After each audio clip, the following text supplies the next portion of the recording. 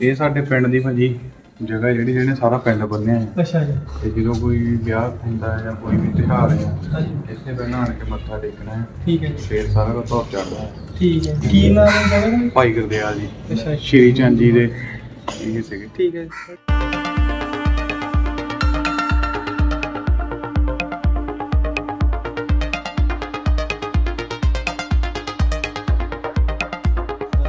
Interview ਲੈਂਦੇ ਆ? ਉਹ ਖਬਰਾਂ ਵਾਲੇ ਖਬਰਾਂ ਵਾਲੇ। ਖਬਰਾਂ ਆਏ ਆ। ਸਾਡਾ ਬਾਬਾ ਆ। ਹਾਂ ਇਹਨਾਂ ਦਾ ਤੁਹਾਡੀ ਵੀਡੀਓ ਦੇਖੀ ਆ ਮੈਂ ਹਾਂਜੀ ਰਿਕਸ਼ੇ ਤੇ ਤੁਸੀਂ ਕਹਿੰਦੇ ਨਹੀਂ ਵਿਆਹ ਦੇ ਨਾਲ ਤਾਂ ਬੜਾ ਸਾਨੂੰ ਦੂਰ ਦੂਰ ਤੱਕ ਦੇਖਦੇ ਆ ਲੋਕ। ਹਾਂਜੀ ਪੂਰੇ ਪੰਜਾਬ 'ਚ ਦੇਖਦੇ ਆ ਇੱਥੇ ਬੈਠਿਆਂ ਨੂੰ। ਤੇ ਮਸ਼ਹੂਰ ਹੋ ਗਏ ਤੁਸੀਂ ਹੁਣ।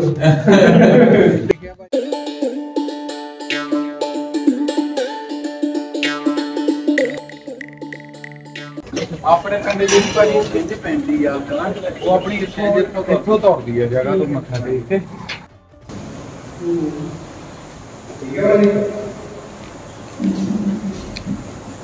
ਸਾਡੇ ਪਿੰਡ ਦੀ ਜਿਹੜੀ ਛਿੰਝ ਹੁੰਦੀ ਆ ਭਾਜੀ ਉਹ ਆਪਾਂ ਇੱਥੋਂ ਤੋਂ ਗਈ ਦੀ ਆ ਹਾਂਜੀ।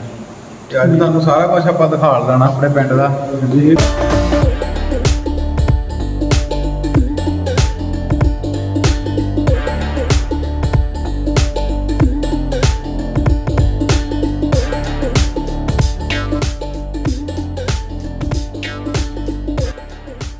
ਅੱਜ ਐਤਵਾਰ ਕਰਕੇ ਸਕੂਲ ਬੰਦ ਆ। ਤੇ ਤੁਹਾਨੂੰ ਦਿਖਾਓ ਭਾਈ ਉਹਨਾਂ ਦਾ ਸਕੂਲ ਦਿਖਾਓ।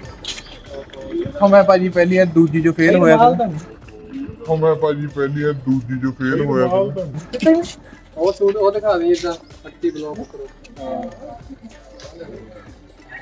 ਅੱਜ ਇਹ ਸੰਡੇ ਕਰਕੇ ਭਾਜੀ ਦੂਜਾ ਹੈ। ਹਿੰਦੀ ਵਾਲੀ ਮੈਡਮ? ਦੇਖੇ ਮੋਟਰ ਹਿੰਦੀ ਵਾਲੀ ਮੈਡਮ ਹੁਣੀ ਅੱਜ ਹੈ ਨਹੀਂਗੇ ਸਕੂਲ ਦਾ ਸਾਰਾ ਕਾਮਯਾਬ ਤੇ ਹੁਣ ਆਪਣੇ ਗੁਰਦੁਆਰਾ ਸਾਹਿਬ ਆ ਗਏ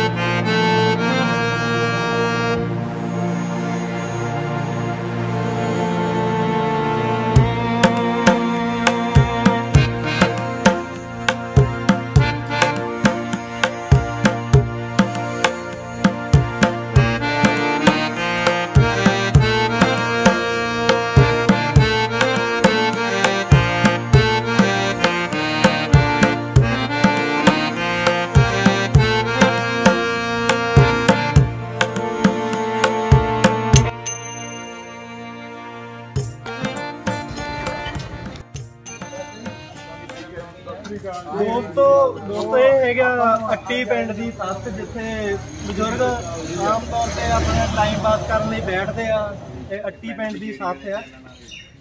ਤੇ ਅਸਲ ਤੇ ਪਿੰਡ ਦੀ ਸਿਆਸਤ ਜਿਹੜੀ ਸ਼ੁਰੂ ਹੁੰਦੀ ਹੈ ਉਹ ਸੱਥਾਂ ਤੋਂ ਹੁੰਦੀ ਹੈ ਠੀਕ ਹੈ ਤੇ ਪਿੰਡਾਂ ਦੇ ਵੀਡੀਓ ਬਾਅਦ ਜਿਹੜੇ ਸਾਡੇ ਭੈਣ ਭਰਾ ਆ ਉਹ ਵੀ ਦੇਖਣਗੇ। ਤੇ ਕੁਛ ਇਦਾਂ ਦੇ ਜਿਹੜੇ 10 ਸਾਲਾਂ ਤੋਂ 15 ਸਾਲਾਂ ਤੋਂ ਇਸ ਪਿੰਡ ਵਿੱਚ ਨਹੀਂ ਆਏ। ਉਹ ਸਿਰਫ ਦੇਖਦੇ ਵੀਡੀਓ ਦੇ ਥਰੂ ਕਿ ਇਹ ਸਾਡੇ ਪਾਪਾ ਜੀ ਆ ਸਾਡੇ ਆ ਪਿੰਡ ਆ ਸਾਡੇ ਗਲੀਆਂ ਆ ਤੇ ਸਾਡੇ ਪਿੰਡ ਦੇ ਸਰਪੰਚ ਜੀ ਸਰਪੰਚ ਸਾਹਿਬ ਹੈ ਜੀ। ਸਰਪੰਚ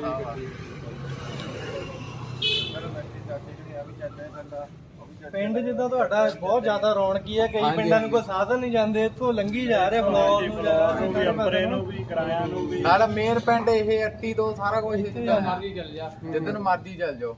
ਬਿਲਕੁਲ ਬਿਲਕੁਲ ਵਧੀਆ। ਹਾਂਜੀ ਇਹ ਫਿਰ ਜਦੋਂ ਲਾਈਟ ਜਾਂਦੀ ਉਦੋਂ ਹੀ ਉਹਨੇ ਕਿ ਇੱਥੇ ਨਹੀਂ ਨਹੀਂ ਇੱਥੇ ਹੁੰਦੇ ਆ ਹੁਣ ਮੀਂਹ ਮੂੰਹ ਪਿਆ ਕਰਕੇ ਨਹੀਂ ਆ ਇੱਥੇ ਮੇਲਾ ਲੱਗਾ ਰਹਿੰਦਾ ਇੱਥੇ ਮੇਲਾ ਲੱਗਾ ਹੀ ਹੁੰਦਾ।